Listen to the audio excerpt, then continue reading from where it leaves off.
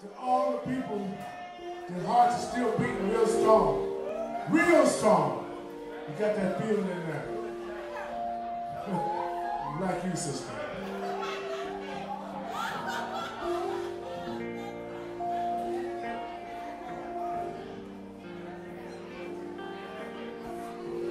One of my favorite songs.